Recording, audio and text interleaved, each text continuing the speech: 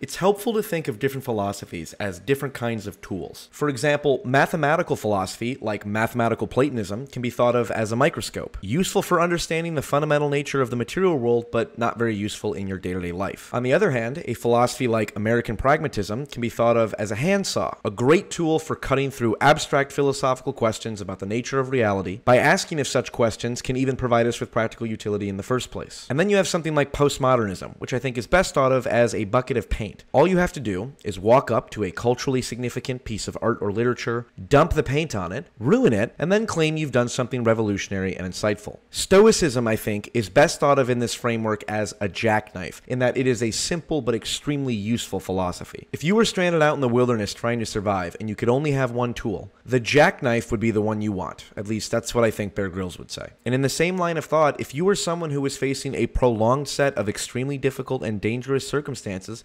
Stoicism might be the best philosophy you could adopt. But don't take my word for it. Here is Dr. Michael Sugrue of Princeton University. Stoicism is an appropriate philosophy, I would say, for serious, ruthless, introspective people that want real answers and are willing to take no nonsense. In that respect, it's, an, it's a kind of uh, moral philosophy I would be inclined to teach at, say, West Point. If I were teaching people that are going to be under terrible danger and terrible, fearful conditions, I would teach them to do what they know they ought to do and to discipline and organize their emotions in such a way as they behave themselves in a way that is not disgraceful. It's an excellent philosophy for military men. It's an excellent philosophy for people that are going to be practical politicians if they intend to be virtuous, if they intend to pursue the public good.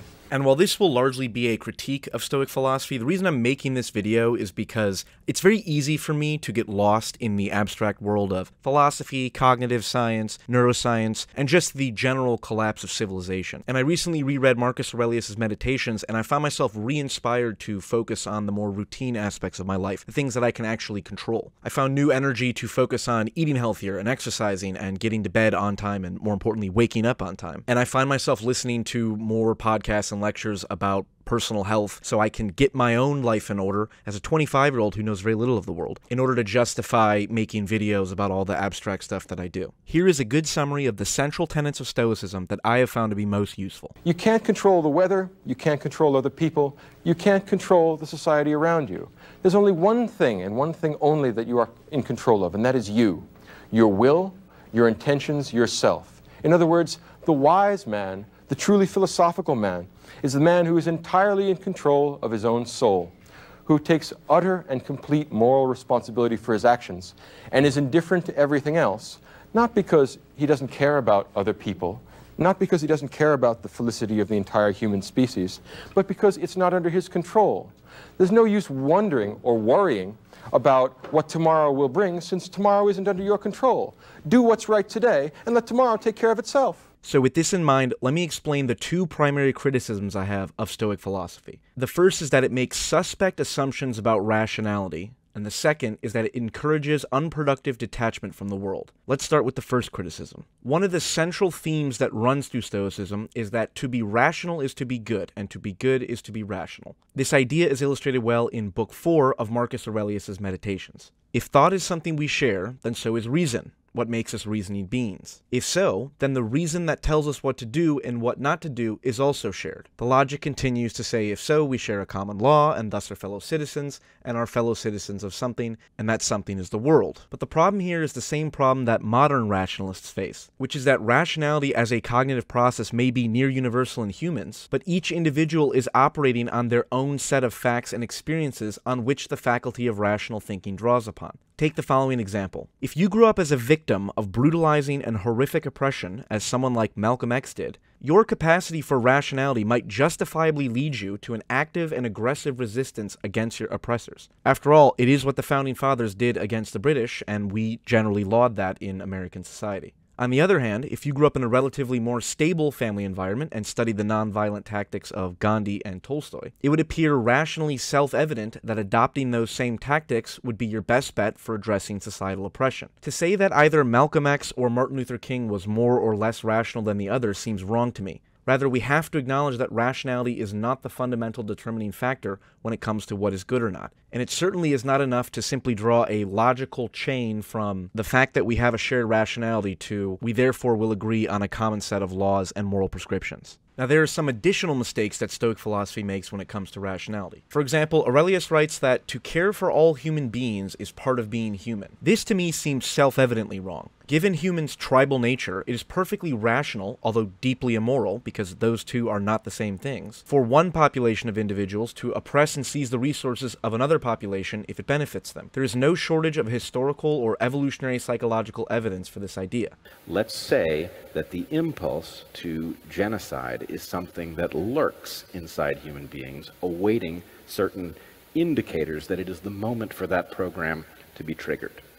Were that the case, you would want people to engage that question ahead of time when they were in possession of their full faculties and to recognize that they might have a program within them that violates the values that they believe are their their guide. And most confusingly for me, Marcus Aurelius writes, No one does the wrong thing deliberately. Again, this is part of the idea that to be rational is to be good, and so those who are doing wrong things are to be pitied rather than held in contempt. But as people like Jordan Peterson point out, it is a fatal mistake to misattribute irrationality or ignorance to people who have deeply malevolent intentions. They encounter someone who's out there in the world who's actually operating to hurt them.